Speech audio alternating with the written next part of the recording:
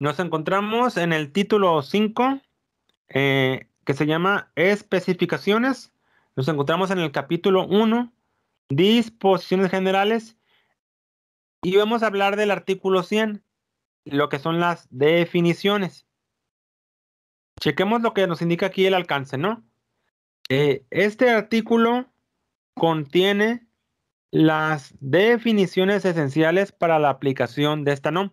Ya ven cómo les comentaba yo que la norma se aplica, porque aquí mismo lo indica, ¿no? Es la aplicación de esta norma. No pretende incluir los términos generales comúnmente definidos o los términos técnicos definidos en otras normas. En general, solo se definen términos utilizados en dos o más artículos de esta norma.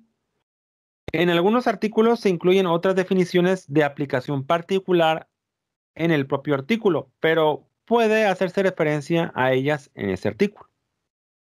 Muy importante esto, por eso lo puse con colores en azul y en verde para que puedan se pueda entender la diferencia entre una cuestión y otra, ¿no? Ojo con esto, ¿no?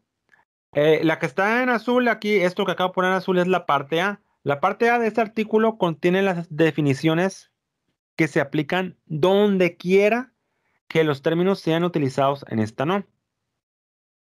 Ok, la que, la que yo puse aquí en verde dice, la parte B contiene las definiciones aplicables únicamente en los artículos que cubren instalaciones y equipos, ojo con esto, que funcionan, que operan a más de 600 volts de tensión eléctrica. ¿no?